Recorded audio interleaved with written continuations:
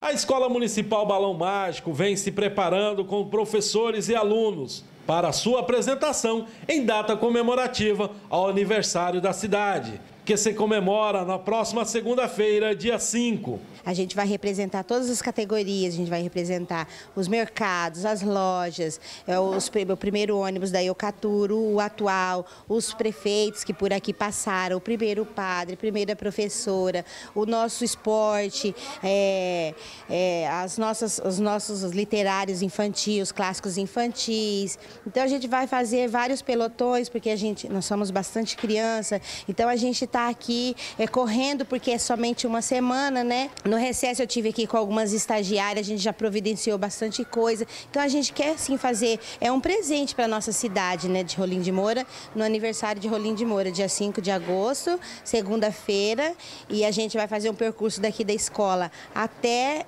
é, no redondo da matriz e voltar para a escola. Os pais ajudam a gente sempre no que a gente precisa, os funcionários todos empenhados, a gente fala, vamos fazer.